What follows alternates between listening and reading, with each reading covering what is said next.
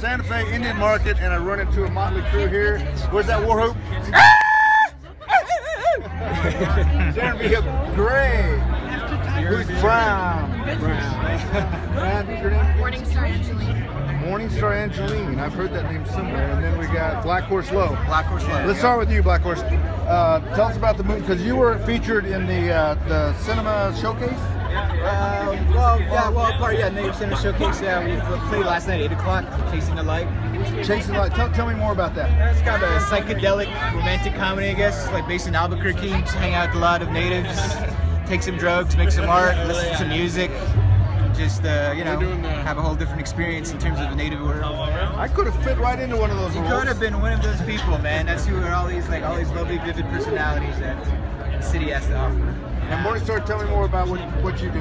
I'm an actress. You're an actress. Yeah. Okay. Oh, I got that acting crew here. Okay. Yeah, so um, we did we did Drunktown's Finest, which screened I think Oh, last yeah, yeah, year. yeah. So I'm just here to support this year, but Okay. That's what we have going And tell me and tell me about uh, what's going on in film because I, I noticed a lot of young people.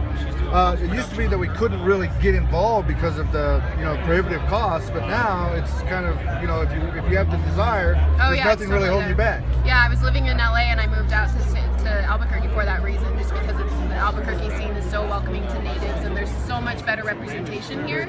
So it's really nice to see that. And like I said, like films like Black Horses, where it's like different genres of native film. Like we don't always need to be the native film. We can like write And, and Darren, I missed your show. Sorry about that, but but, but hey, that's why. Last night was the opening. Yes. It's called Moving Fire. Moving fire. Yes, that's the title of the show, and it's uh, about 24 new pieces of work, two-dimensional painting, uh, executed over maybe the last year. And it's my, I'm calling it my com- coming out show. I've been away from the market, just gone for about three years. I just had to take a break. I, I, the analogy is like a, a treadmill. You know, a successful artist is on a treadmill just to produce, keep up with deadlines and all. I, I went away. I just said goodbye. And it's been really good for Good me. for you. It's been my first time in my 35 year career as an artist, painter, where I just got off the treadmill. And it was really good for my resurgence as new work. So lot, lots going on in my life personally and uh, So that's, could that- that's- that going forward. That that's going to be your focus is to really just move, fire. move fire. Move yeah, fire. Exactly.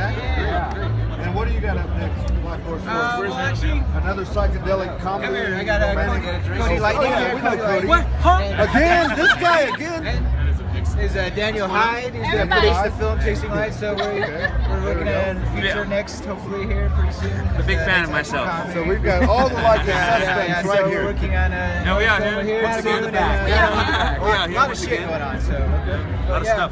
Something different each time. Werewolf movies, outer space stuff. Outer space stuff. It's gonna be like a spear that fire, fires every direction. That's the only way it can happen in space. So I'm Yeah, told. yeah. I'm excited. Really good writer tonight. Thank you very much. Yeah, see you again, my man. Yeah. Hey, we ran your interview today, you and your mom. Cool. Today, so it's already out there. Okay, thanks a lot. Have a good one. Yeah, Chasing the Light. Yeah.